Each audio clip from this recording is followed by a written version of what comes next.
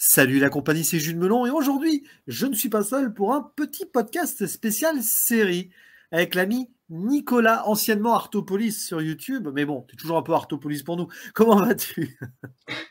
Ça va, et je suis encore nommé Artopolis parce que je ne sais pas si j'ai changé le nom de la, chaîne ou, garder le nom du bon, Mais de toute façon, euh, voilà. Tu restes toi-même de toute façon et pour parler. Voilà, pour parler art en général, art que tu découvres ou que tu crées aussi hein, toi-même. Nous avons décidé, tiens, alors c'est intéressant parce que je pense que peu de gens en ont parlé, mais pourtant c'est très intéressant, je pense, et surtout important de, de mettre en avant cette série qui est sortie en 1971 et qui a été chapeautée euh, sur la deuxième chaîne de l'ORTF à l'époque, ça ne nous rajeunit pas, on n'était pas nés en plus, par Monsieur Maurice Piala qui est un grand cinéaste français qui a, marqué, on va dire, hein, vraiment de son empreinte le cinéma de notre pays, mais qui aussi s'est essayé à la série. Mais on peut voir cette série de cet épisode comme un très grand film de presque 7 heures, hein, quand on y pense. Mmh. La Maison des Bois, qui réunit d'ailleurs des acteurs connus et des amateurs, mais c'est très souvent le cas chez Piala. Enfin, Piala, il a jonglé sa carrière entre un début avec plus d'amateurs et après, il a pris quand même des acteurs et actrices reconnus. Nous avons Pierre Doris qui joue le garde forestier euh, principal, euh, qui était quand même à l'époque euh, une vraie figure théâtrale notamment. Jacqueline Dufresne aussi, Agathe Natanson. Il y a même le marquis qui est interprété par Fernand Gravé, qui avait tourné avec Abel Gans ou Max Ophuls et qui est décédé avant la sortie de la série. et Maurice Piala qui joue lui-même le rôle d'un instituteur qui va être la caution un peu de transmission aussi d'une d'une histoire qui se déroule pendant la Grande Guerre, la Première Guerre mondiale, et on va non pas aller sur le front, même si on n'est pas loin par moment, euh, on va plutôt se concentrer sur la vie de tous les jours d'un petit village, et au sein de ce village, de cette communauté, hein, euh, nous avons un garde forestier qui recueille dans sa famille plusieurs enfants parisiens réfugiés là, parce que bah, les pères sont à la guerre, etc., hein, forcément. Et on va voir cette vie du village, de la campagne, avec l'école, etc., des nouvelles du front, avec quelques drames forcément qui vont se nouer. Et c'est un film à la fois très réaliste, enfin un film, une série, une histoire, une fiction qui est à la fois très réaliste et qui va se concentrer justement sur des petites euh, histoires très simples et en même temps une dramaturgie qui va aller au-delà, tout en faisant un rapport avec la grande histoire, avec un G et un H majuscule, hein, la Première Guerre mondiale. Ce qui était d'ailleurs à l'époque assez euh, étonnant parce que ce n'était pas forcément au début des années 70 un sujet qu'on traitait souvent, que ce soit à la télé ou au cinéma. Et donc sur cet épisode, comme ça, on va avoir le développement, beaucoup de touches poétiques euh, liées à l'impressionnisme qui était très cher à Maurice Piala. Mm. Et euh, bah, mon cher Artaud, mon cher Nicolas, bah, dis-nous ton ressenti et ton contact particulier avec cette série qui a récemment été rediffusée sur Arte d'ailleurs. Ouais, elle est souvent rediffusée sur Arte d'ailleurs. Euh, moi, mon, contact avec la série, euh, il se fait euh, par le prisme de la découverte du cinéma de Piala, en fait, hein, de toute façon. Oui. cinéaste que je trouve assez important, surtout dans, dans sa manière, dans, surtout la place qu'il occupe dans le cinéma français, d'abord, avant d'être un cinéaste qui a une place dans le cinéma mondial. C'est un cinéaste qui qui est un peu, un peu particulier puisqu'il a évolué euh, à côté de la, de la nouvelle vague qu'il n'aimait pas tellement, euh, qu'il avait, euh, qui prenait plaisir à provoquer d'ailleurs de manière un peu, un peu infantile, mais bon, c'est Piala, il a toujours été comme ça. Et, je trouve que c'est vachement intéressant qu'il fasse cette série-là, sachant que c'est une série qui se fait entre L'Enfance Nue, son premier film, qu'il mmh. réalise tardivement. Il ne faut pas oublier que euh, Piala euh, appartient à, cette génération de cinéastes qui font des films euh, tardivement. je sais plus, je crois que c'est Mankiewicz qui disait il faut mieux faire un, film vers 50 ans, un truc comme ça, ou 30 ans, pour faire des bons films, ou quelque chose comme ça. Je ne sais plus ce qu'il disait précisément. Et, et Piala, pour le coup, il a commencé assez tardivement. Alors, je ne sais plus si c'est 40 ou 50 ans. À la quarantaine. Ouais, c'est ça, hein, parce que d'abord, il a surtout fait des courts-métrages et des, euh, et des courts-métrages publicitaires aussi. Et euh, ensuite, il fait donc L'Enfance Nue, qui est un film que je trouve magnifique. Hein, euh, premier film sur justement un peu une thématique qui est très proche de la, de la série, hein, de La Maison des Bois, qui et donc il fait la maison, qui il fait la Maison des Bois après et qui couvre quand même plusieurs années puisqu'on a entre 68 et 72, qui est, qui, est, son prochain film, qui est Nous ne vieillirons pas ensemble. Il y a donc cette série. Et, et c'est assez intéressant quand même de voir. moi, moi, mon rapport avec les séries est quand même assez, assez fort parce que pour moi, c'est une des, des, meilleures séries euh, qui peut être faite, euh, et c'est une série qui, qui, existe bien avant euh, les grandes séries de cinéastes qu'on voit apparaître dans les années 80-90.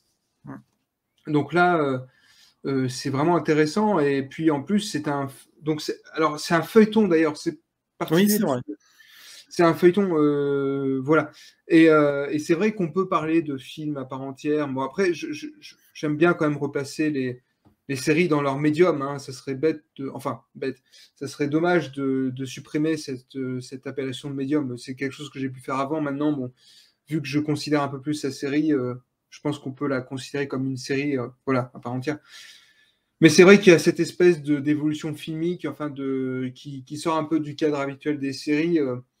Après, il y a quand même ce générique qui est très important à mes yeux, le, générique avec la, la magnifique chanson de musique de, Ravel, euh, qui euh, fait partie du charme de la série. Donc la série hein, euh, qui parle de l'arrière pendant la Première Guerre mondiale, ce qui est pas banal parce que alors, ça a été fait, mais euh, c'est pas quelque chose qui revient très souvent, je trouve, lorsqu'on fait un film sur la Première Guerre mondiale, de parler de l'arrière et de ce qui s'y passe. Et là, moi, ce que je trouve vachement beau dans, ce, dans cette série, c'est que, en fait, euh, Piala continue les thématiques euh, très, euh, très personnelles, très, très liées à l'enfance, à la perte de l'enfance, à l'abandon, à la séparation qu'il y avait dans l'enfance nue qui m'avait quand même pas mal bouleversé. Et il les amplifie dans cette série-là. Et je trouve que c'est très fort parce que il y a une espèce d'opposition dans la série continuellement entre l'innocence de, de, cette espèce d'utopie euh, qu'est la Maison des Bois. Parce que c'est littéralement un paradis perdu en fait. Hein, euh, cette maison qui est perdue dans les bois, qui est coupée de l'extérieur. Et les, seules visions qu'on a de l'extérieur, elles sont apocalyptiques en fait. Hein, chaque fois. Euh, c'est la parenthèse, c'est une forme de parenthèse paradisiaque dans un monde qui est un peu infernal parce que tout ce qui se passe autour. Voilà. Des fois, tu as même l'enfer qui vient s'insuffler dans ce paradis, parce que la mort arrive, que ce soit par des nouvelles du front, ou même à un moment, il y a un soldat allemand hein, qui, qui trouve la mort pas loin dans un champ. Et, euh, mmh, voilà, oui. Oui, euh, qui est peut-être une des plus belles scènes de la série. Euh, pour, mais mais d'ailleurs, ça, c'est en fait, pour moi, c'est c'est peut-être. moi, j'aime beaucoup les, les œuvres d'art qui, qui, qui entretiennent un rapport avec leur histoire, avec le contexte de création. et là, c'est très intéressant parce que cette série arrive d'une manière très juste à, à faire comprendre l'enjeu qu'il y a entre la manière dont est perçue la guerre euh, à l'arrière et la manière dont est perçue la guerre directement sur le champ, euh, voilà, sur le champ de bataille. Donc ça, c'est vraiment intéressant parce que, euh, et en plus, là, c'est Piala qui, pareil, est assez fort là-dessus, c'est qu'il il construit tout ça sur, autour des enfants. Donc, et, et au point où il y a la thématique à un moment de l'enfant soldat qui est soulevée quand même, euh, qui ils, jouent, à la guerre aussi, les enfants, souvent. Et les, les, enfants jouent à la guerre. Ce qui rappelle un certain film de guerre qui, qui se place pendant la Deuxième Guerre mondiale, qui est Requiem pour un massacre, d'Hélène Klimov. Sauf que là, c'est intéressant parce que euh, ce jeu de la guerre est véritablement. Euh, parce que là, bon, dans, dans, Requiem pour un massacre, c'est le champ. On joue à la guerre et ensuite on y va là, c'est. Euh, alors, il y, a ce procédé aussi là, dans, le, dans le, la série, euh, mais euh, c'est surtout l'innocence qui, qui est montrée de manière directe pendant toute la série.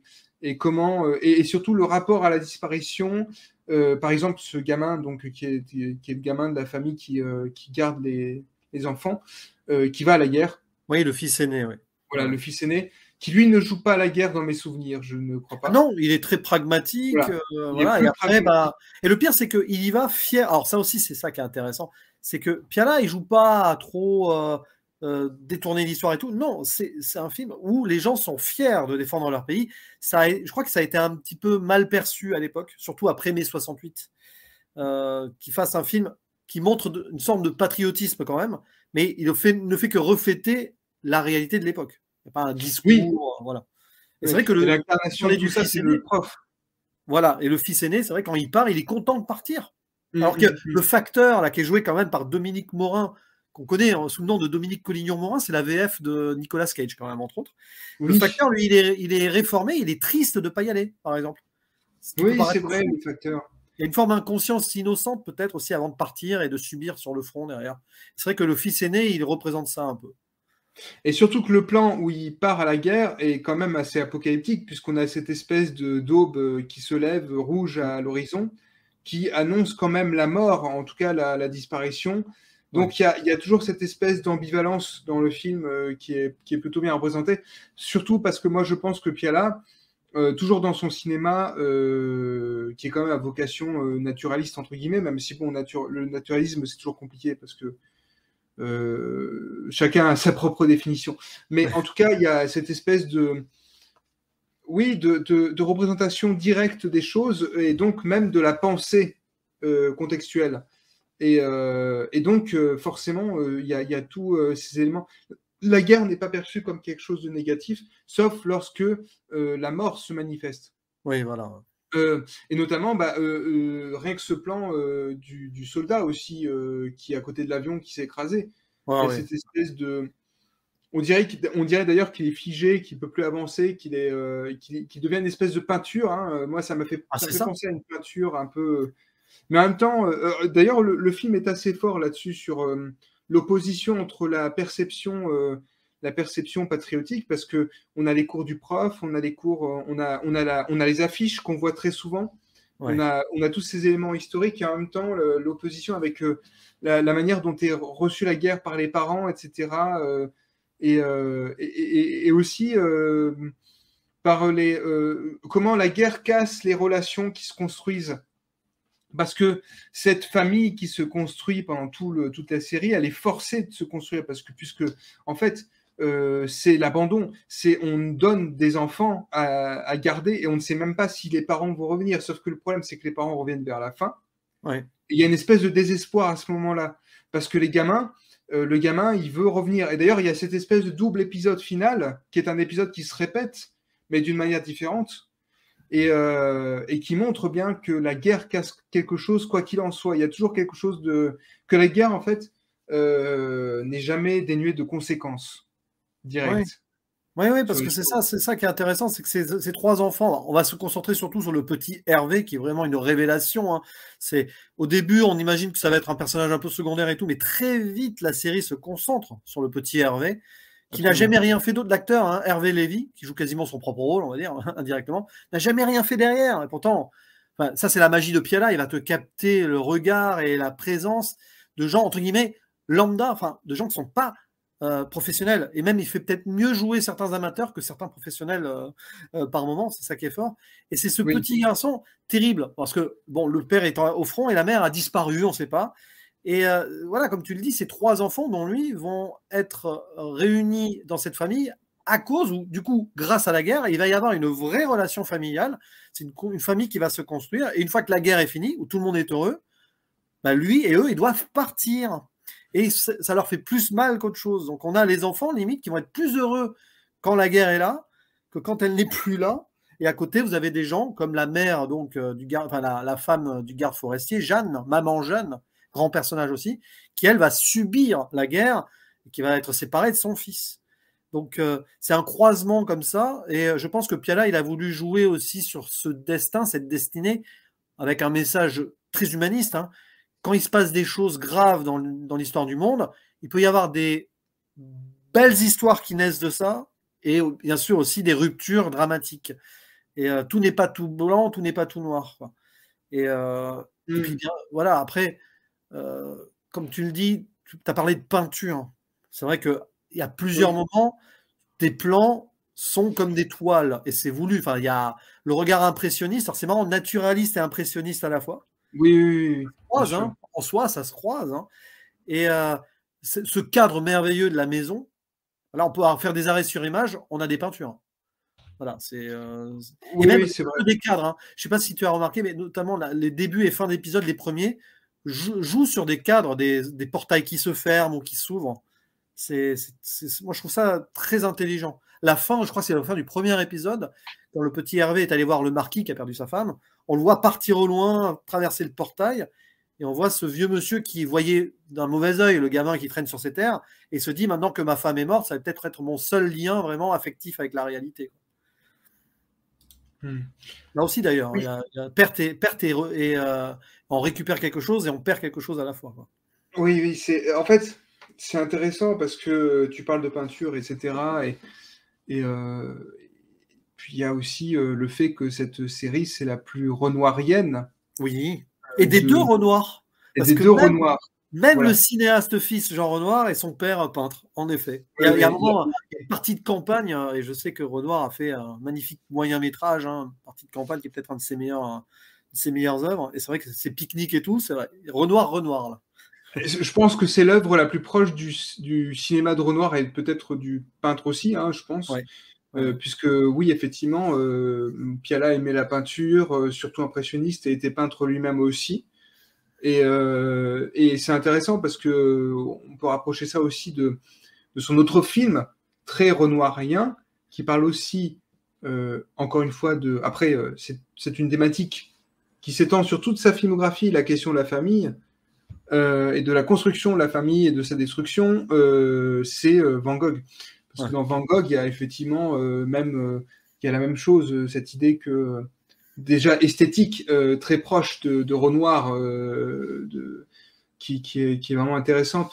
Moi, je trouve ça intéressant le rapport qu'entretient euh, un peu conflictuel entre guillemets que, que, après Pierre disait ce qu'il voulait, hein, mais par rapport à Renoir, puisqu'il y a un moment où il rejetait un peu cette influence, où il revenait vers, vers elle. Il me semble que c'est quand, justement quand on l'avait interrogé pour Van Gogh, il avait dit que Renoir, bon, j'aime plus trop certains films, enfin, voilà. Mais après, ces Piala, il a toujours été euh, extrêmement euh, un peu difficile. Mais, euh, mais, mais, en fait, dans, dans, dans, dans cette série-là, ce qui est intéressant, c'est qu'effectivement, c'est la série qui se rapproche le plus de, de ses influences. C'est peut-être la série la plus pialienne aussi, hein, si on peut ah dire, avec ce néologisme un peu, un peu laid. Mais, mais, mais en fait, oui, il y a quelque chose de très de très proche de, tout ce qu'a fait euh, Piala après. Et c'est intéressant parce que même, même les, enfin, les films de Piala après euh, la, maison, la Maison des Bois et, euh, qui sont assez différents en fait, même s'ils gardent cette espèce de. Mais ils sont plus, plus durs, plus, plus secs, je trouve. que dans La Maison des Bois et, et même, et même son premier film Enfance nue, qui sont plus, plus, innocent. Euh, tu peux retrouver vaguement cette vibe dans Passe ton bac d'abord, qui mais qui oui, ça c'est Voilà, D'ailleurs, qui est un de mes préférés aussi. Non, non, mais c'est ça, c'est vrai. Il y a, y a, ce procédé qu'on l'on retrouve vraiment aussi, ouais, dans Passe, euh, Passe ton bac d'abord. Euh. Non, non, c'est vrai, il y a peut-être ça aussi dans son dernier film, Loulou, c'est ça, Loulou? Je, Ah non, Loulou, c'était en 80. Le Garçu, oui, c'est ça. Ah oui, oui, ah, oui, avec le petit Hervé, oui, le garçu, euh, clairement. Avec, le propre fils de, de Piala que l'on voit dans le film. Euh, Donc l'avenir un peu aux enfants, il y a, ce truc-là euh, toujours assez beau chez Piala quand même de les enfants, les enfants. moi, moi, je peux pas m'empêcher de rapprocher en fait cette série de deux, deux, films de Louis Malle.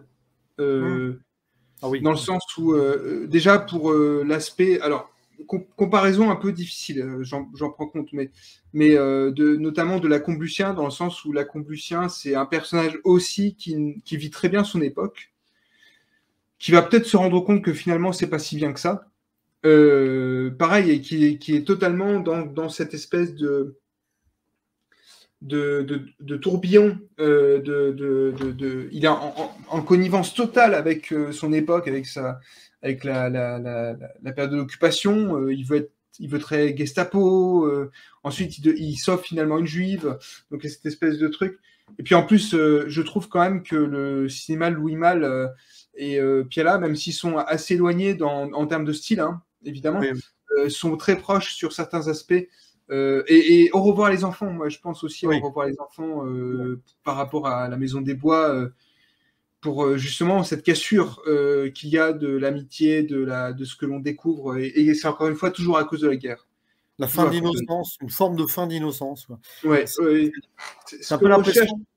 À l'arrivée, à l'arrivée de, de, la série, Hervé, qui d'ailleurs c'est marrant parce que tu sens que ça a été tourné sur quelques mois, et le petit Hervé commence à bien grandir à la fin. Enfin, tu sens quoi, qu'il y a l'évolution aussi, qu'il a dû tourner ça dans une plus ou moins dans un ordre chronologique, je pense. Hmm. j'imagine.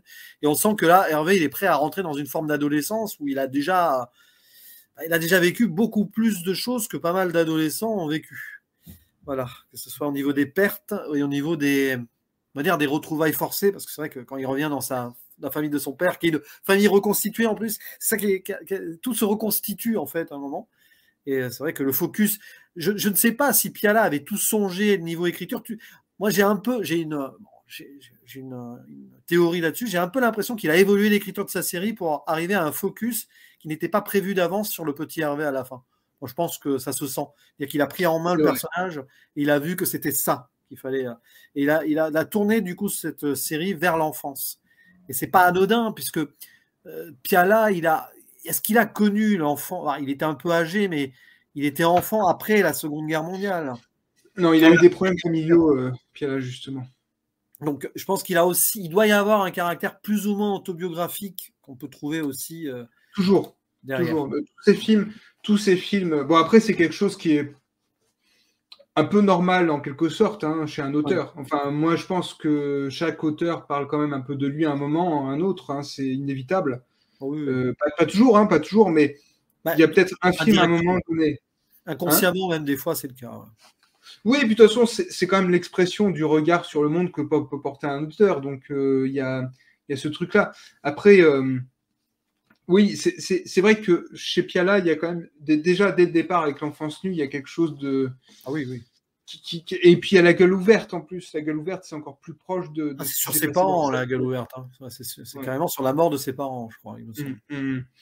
Eh ben, au, point où il filme euh, chez lui à la fin, en fait. Hein, et puis euh, même, nous ne vieillirons pas ensemble, c'est sur sa propre séparation avec. Euh, je pense que c'est pas avec la dame qui participe à ce film d'ailleurs, en tant que monteuse, Arlette Langman, ouais, il me semble. Voilà. Où, il tombe amoureux d'elle pendant le tournage, je sais plus. C'est, Oui, c'est ça, oui, peut-être. Mais, mais c'est vrai que, oui, voilà, cinéma, cinéma très proche, en fait, de, de, de, de, sa propre vie et de ses propres problèmes. Euh, oui, c'est ça en fait l'essence du cinéma de, de Piala. Et puis il y, a aussi cette essence, j'ai envie de dire communautaire dans un sens, on va dire vague du terme, c'est que oui. évoluer ces personnages dans des, oui, dans des communautés, dans des, alors que ce soit des familles.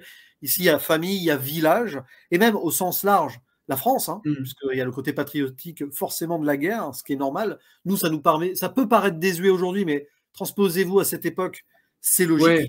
Il y a tout à fait la logique derrière. Et là, alors, on a la communauté de ce village. à certains moments, on pourrait presque imaginer, alors c'est du, ça reste Piala, ça reste très à la française, hein, une touche à la John Ford par moment, tu pourrais, euh, mais pas, bah, pas l'américaine.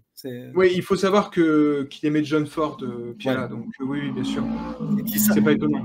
Il s'attache à des moments. Voilà, par exemple avec le curé du village, au, début c'est drôle parce qu'on voit le curé qui fait picoler les gamins avec la vin de messe. enfin, c'est pas le curé, je crois que c'est le, c'est l'assistant du curé, pendant que le curé, lui, il n'est pas content que les gamins euh, soient partout. Tu as l'école, forcément. Donc, c'est ce qui faisait, parce que j'ai envie d'utiliser le passé, mais ces villages d'avant, c'est ce qui faisait la vie de ces villages. Et euh, le bar aussi. Beaucoup de choses se passent au bar où ça discute politique un peu, où il y a les soldats en permission qui viennent, euh, qui repartent. Ce soldat au début qui débarque et qui est avec sa maman, là, c'est il y a beaucoup de choses comme ça. Il s'attache, c'est là où je disais ça au début, aux petites gens, oui, mais aux petites histoires aussi. Limite, cette série, tu vas plus retenir certaines petites histoires. Bon, le nœud dramatique, on l'a quand même. Notamment, euh, voilà, avec ce fils qui ne reviendra pas, le fils aîné, avec un moment la, maman Jeanne qui voit son fantôme là euh, derrière les grilles du poulailler.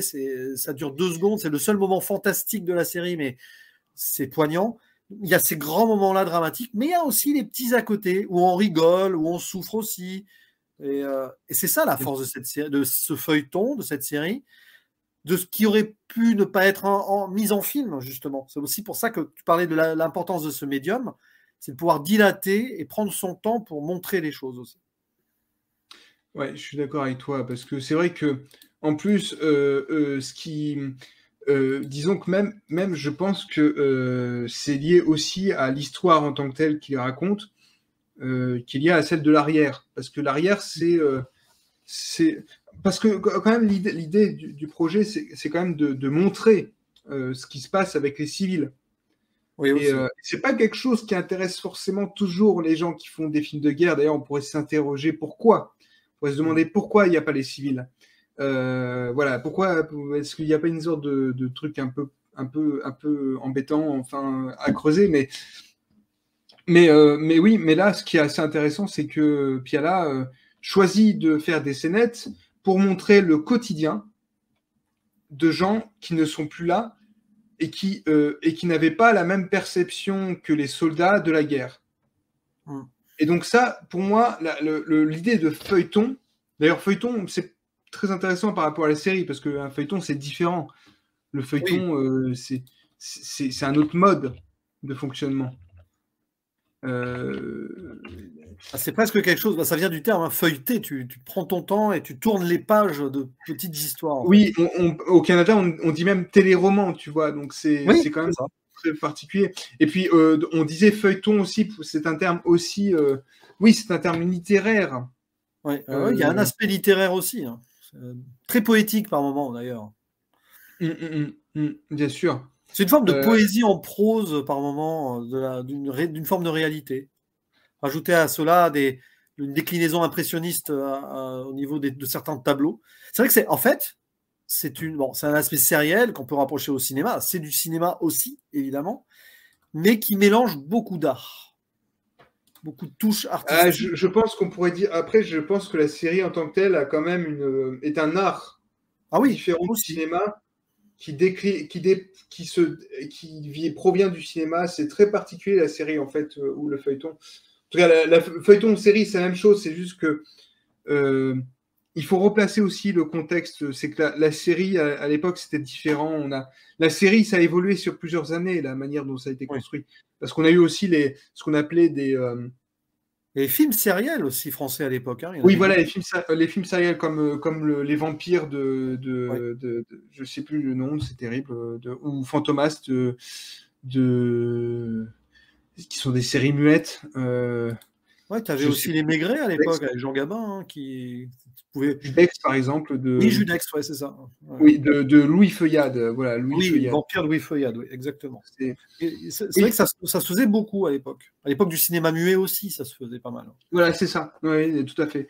Mais oui, et puis c'est vrai que non, mais c'est très particulier la manière dont il a euh, d'articuler. Déjà, le générique, je trouve. Euh, qui, qui, qui, en fait, pour moi, qui quand même euh, témoigne de l'espèce de, de d'ambivalence, euh, en tout cas d'opposition qu'il y a dans le film, c'est-à-dire euh, le, générique est très doux, très beau, euh, évoque l'enfance, et pourtant, et pourtant la chanson de Ravel évoque la guerre.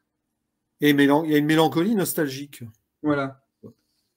D'ailleurs, le titre, c'est Trois oiseaux du paradis, et c'est un petit peu les enfants qui sont recueillis dans la maison. Hein. Voilà, c'est ça, exactement. Et c'est très beau. Enfin, non, mais après, moi, je, pour, parler de la série, en tout cas de, mon rapport avec la série, pour revenir dessus, moi, je trouve que c'est euh, c'est peut-être une des œuvres les plus importantes de, de, sa, de sa filmographie, qui est, qui est elle-même euh, importante, le sens où euh, elle est extrêmement cohérente, tout en étant évolutive. Et je trouve ça assez fort, parce qu'il n'a pas refait de série après.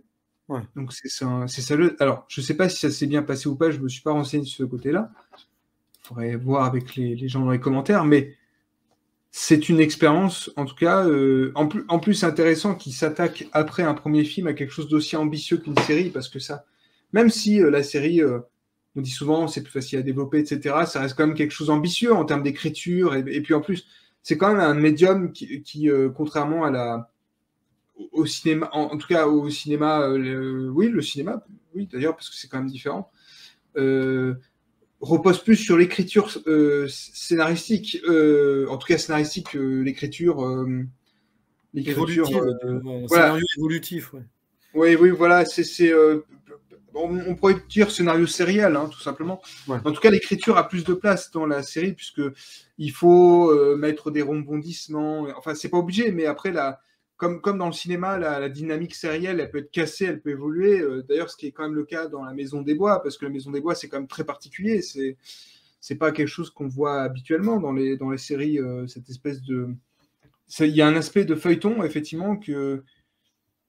Mais, mais intéressant il y a quelque chose de très intéressant, c'est que Piala, donc c'est une commande, hein, à la base, on lui a proposé. Et le scénario est de René Wheeler, donc il a, il a pris la, le truc de base, et je suis persuadé que Piala, il a rajouté des trucs, il a pris certaines libertés en gardant. Voilà, il devait y avoir les grandes lignes, c'est-à-dire que les grands moments dramatiques que l'on voit dans la série, je pense, étaient écrits. Ça, c'est sûr, c'est à peu près. Oui, oui, Mais il a rajouté des choses, et pour, ce que, pour revenir à ce que tu disais, que c'est peut-être son œuvre la plus importante, je pense même que pour découvrir l'œuvre de Piala, commencer par cette série, c'est pas déconnant. Parce que tu as déjà. Il y a l'enfance nue aussi. L'enfance nue ne plaira pas à, tout le monde, parce que c'est vrai qu'il y a un aspect très documentaire qui est particulier hein, pour l'époque. C'est un peu. certains le disent, après, c'est vrai ou pas, ça dépend. L'anti-400 coups de Truffaut. Bon, si on veut. Euh, qui a été produit par Truffaut d'ailleurs. en plus, ouais. Et là, tu, là vraiment, tu as tout Piala, et c'est marrant parce qu'il a pris en main quelque chose qui n'était pas de lui à la base, et il en a fait une œuvre très personnelle. C'est la force de l'auteur, c'est que là, on lui propose ça, il se dit, ok, je vais mettre ma vision, je vais mettre mes, oui, c'est thématique déjà, et, puis sa patte artistique, elle est là. Voilà. C'est-à-dire que tu aurais fait réaliser cette série par quelqu'un d'autre, ça n'aurait pas été la même. Vraiment. Donc euh, c'est là où c'est fort parce que on parlait de l'aspect sériel. Il est vrai que de nos jours, alors il y a des belles exceptions, hein, mais de nos jours, les séries, c'est bon, c'est plutôt des yes man hein, qui s'occupent derrière de la réal. Il y a eu de très beaux contre-exemples. Bon, souvent quand l'auteur qui réalise est aussi à l'écriture. Hein, on va pas parler de David Lynch avec Twin Peaks, mais bon, quand même, on peut parler de Michael Mann avec euh, le début au moins de, de, deux flics à Miami, puisque c'est un peu, c'est un peu son bébé aussi à Michael Mann, il me semble. Euh, mm. Et puis tu parlais aux arts. Je ne l'ai pas vu, mais une série de Lars von Trier aussi euh, que, tu recommandes. Mais c'est très rare quand même. L'aspect, le contrôle artistique total derrière une série de quelqu'un qui va mettre en scène, c'est assez rare quand même. Oui, oui, c'est rare. Après, après, après, je ne sais pas si. Après, ça dépend. C'est le problème. De... Après, ça, ça pourrait être intéressant d'avoir un autre débat là-dessus sur la série, mais. Ouais la fabrication d'une série. Après, il faudrait bien se renseigner là-dessus et surtout parler euh, peut-être avec des gens qui travaillent dans le métier. Mais, euh, mais en tout cas, euh, peut-être que ce qui pose problème aujourd'hui avec la série, c'est la fabrication à la chaîne. Oui, ça, c'est un autre. Parce qu'à l'époque, au moins, c'était, on va dire, rarifié et ils prenaient. Ils n'avaient pas une, exigence. Il y a de avoir une exigence de temps quand même, un peu. C'était pas rarifié en tant que tel, mais disons que le mode de fonctionnement est différent avec les plateformes. C'est surtout les plateformes. Voilà. Voilà. Parce que bon, après des séries pourries, il y en a eu des, depuis des années. oui, bien euh, sûr. Les feuilletons, euh, les feuilletons pour les grands-mères, etc. Bon, c'est. Mais là, c'est amusant parce qu'il tournait la journée, donc c'est quelque part dans l'Oise, hein, je crois. Et tu as beaucoup d'acteurs, actrices qui étaient sur Paris. Il y a des anecdotes comme ça. Pierre Doris qui est arrivé à la gueule de bois le matin. Bon, au final, euh, il a été discipliné, entre guillemets, par Piala pour qu'il reste un peu sur place. Oui. C'est amusant parce qu'il y a des scènes où on le voit. Bon, Pierre Doris, c'est le garde forestier Picard. On voit qu'il est un peu fatigué parfois. ça, rentre avec ce que son personnage fait de toute façon. Mais c'est assez amusant quand même. Euh, je pense qu'il est moins présent que prévu. Je pense que dans le scénario de base, il aurait été beaucoup plus présent. Et puis là, s'amuse à aller sur les à côté hein, aussi. Oui, oui, il n'y a que des à côté. C'est une série de à côté, ouais. Mais c'est vrai que c'est voilà, ça, ça dépeint une communauté. Tu as l'impression d'être dans un endroit qui n'existe plus? Enfin, est-ce que cet endroit existe toujours? Peut-être que le village de base existe toujours, mais il est, il sûrement très différent et c'est normal. Euh, c'est ça, tu as l'impression d'être dans un endroit qui, qui, est, fantasmé dans une forme d'utopie, peut-être mm. du point de vue de l'enfant souvent, mais il y a une réalité quand même. A cette réalité. Et puis le fantasme de la guerre, parce que quand la guerre est aux portes du village, que ce soit au sens propre ou au sens figuré, hein, il y a une forme de fascination morbide par moment. On voit ces soldats blessés, des soldats blessés qui reviennent et tout. Euh, c'est comme si ce village était une sorte de point d'arrêt et de, ouais, de havre de paix entre deux, entre deux euh, attaques, par exemple. C'est un peu ça, parce que le front, il doit pas être très très loin, à une centaine de kilomètres à peine, en fait. Non, non, non. Et c'est intéressant parce qu'on n'a pas le son. Ouais. Il n'y a que ces avions au moment. Voilà, il y a un avion qui. Il n'y a que les avions, voilà. Avec on aussi ce délire autour, le tour de l'aviateur local aussi. L'enfant est fasciné par les avions. C'est ça. Hein. on a tous, je pense, tous petits, on se met dans ce contexte-là, on va être fasciné par la guerre, par la violence. Il y a ce côté-là, euh, ce passage-là hein, aussi. Euh, c'est pour ça qu'on peut concevoir vraiment ça comme une espèce d'image, euh, enfin cette, cette, cabane comme une espèce d'image fictionnelle. Bah, il suffit même de penser à l'illustration qui, qui représente la série. C'est une peinture en fait. Donc euh, c'est une peinture cette, euh, cette, euh, cette cabane. Ouais, cette maison en bois. Et puis tous ces, voilà, ces portails, voilà, tu peux faire des arrêts, tu fais des arrêts sur image et tu te dis, tu peux te mettre, c'est un peintre est inspiré, il se met derrière et il peint ça de façon impressionniste, on n'en est pas loin de toute façon. L'éclairage aussi, le, jeu des lumières aussi parfois, notamment avec cette forêt à côté, il, y a, il s'est posé, voilà, Piala a pris son temps à un certain moment pour poser sa caméra et, et nous, nous faire contempler les choses aussi. Parce que la beauté de certains moments du quotidien, de la nature, c'est important aussi pour ces gens à l'époque. Oui, et puis ça permet d'accentuer euh, encore une fois cet aspect-là, quoi, de, de, de, de, chambre, chambre de pause un peu, enfin, de, à côté du conflit. Euh, il y a cette espèce de décalage, quoi, qui est, qui est constamment présent dans le film, dans la série, pardon. Ah film ou série, hein, vous l'avez compris. Bon, c'est, c'est, un peu à part. La Maison des Bois, c'est presque un médium à part, presque, d'une certaine manière. disons que. je, sais pas. C'est, un aspect euh, créatif, en tout cas, qu'on a rarement vu, quels que soient d'ailleurs les pays. Hein. il y a quelque chose. On pourra sûrement trouver des exemples si on réfléchit, euh, il y en aura. Mais l'aspect presque quasi docu, mais à la fois on voit la fiction, elle est là. Hein, euh, l'aspect fictif n'est pas masqué quand même. Il y a une écriture. On se demande parfois d'ailleurs si les répliques sont écrites ou improvisées. Ça dépend. Je pense qu'il y a un peu des deux. Euh, et c'est surtout que ce qui, est, très fort, c'est que tout le monde joue juste. On est au-delà de est-ce qu'il joue bien ou il joue mal. C'est pas, on s'en fiche. Ça joue juste. Et il faut que ça joue juste. Et Hervé Lévy, le petit gamin, par exemple, voilà, il a fait ça. S'il n'a pas fait de carrière au cinéma ou aux séries, ça peut paraître étonnant son papier, mais pas tant que ça, parce que là, c'est une expérience à part. Il n'aurait jamais revécu une expérience aussi stimulante, je pense. Ce serait intéressant de savoir ce qu'il est devenu. Euh, oui. Mais parce qu'il aurait peut-être 60 ans aujourd'hui, hein, quelque chose comme ça à peu près. Et euh, quelle expérience il en garde, etc. Je pense que c'est quelqu'un qui s'est rangé, qui est devenu très anonyme derrière. Et, euh, non, mais c'est c'est fascinant. Voilà, après, euh, voilà, c'est une série qu'il ne faut pas voir uniquement pour les. Oui, évidemment, les drames de guerre, les pertes, etc. C'est important aussi parce que c'est un témoignage de ce que beaucoup de gens ont vécu. Mais c'est aussi pour montrer que la vie continue, même en cette période. C'est ça. Et parfois, elle continue autrement, mieux, moins bien. Ça dépend des perspectives. Parce qu'au final, euh, enfin, voilà, euh, oui, ça se termine sur de la mort, hein, forcément, on le sentait. Mais c'est pas, il n'y a pas de pathos. D'ailleurs, pour arriver à la fin, bon, spoiler ou pas, on s'en fiche, hein, ce n'est pas, de, pas une série à spoiler de toute façon. La mort finale de Jeanne, il n'y a pas de. C'est très, très respectueux. Enfin, il y a, y a, quelque chose qui est extraordinaire, quoi, je trouve. Hum, hum, hum, pour la gestion de, de, la mort et du deuil, souvent, c'est pas montré d'ailleurs, c'est suggéré. C'est d'une tristesse absolue, quoi. Enfin, euh, se remet difficilement, quoi, de cette séquence.